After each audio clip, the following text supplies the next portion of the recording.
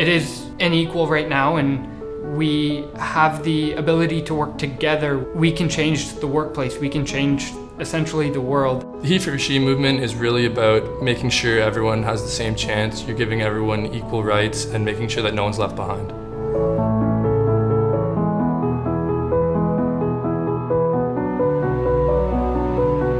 So over the next few weeks, we're going to be having workshops to really engage people in the community, especially on campus, in how they can really make a difference by standing with women, men standing with women, women standing with women, and making sure that everyone has an equal chance. Hopefully we are going to be facilitating positive conversation in terms of gender equity and really getting people to open up about it because the conversations need to be had.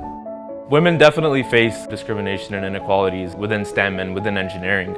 Just the fact that women make up half of our population, yet uh, in Canada, only 13% of women are represented in the engineering workforce. It goes to show that uh, there's a lot of work to be done in terms of uh, gender equality within the engineering field. It's a very important dialogue we need to have. We need to share some of the opinions we have on uh, these these topics, and it helps you understand it better and uh, just have an overall better understanding. And once you understand something better, you're able to help. I think if we don't have these discussions, people are just going to put it under the rug or push it under the rug. But if we can really talk to people and really understand where they're coming from, we realize that this isn't how we would want to be treated ourselves. We need to promote them in STEM fields and ensure that we have gender diversity in not only STEM fields but across the board. And it doesn't just benefit women, it benefits all of us and we live in a better world. I am he for she. I am he for she. I am he for she.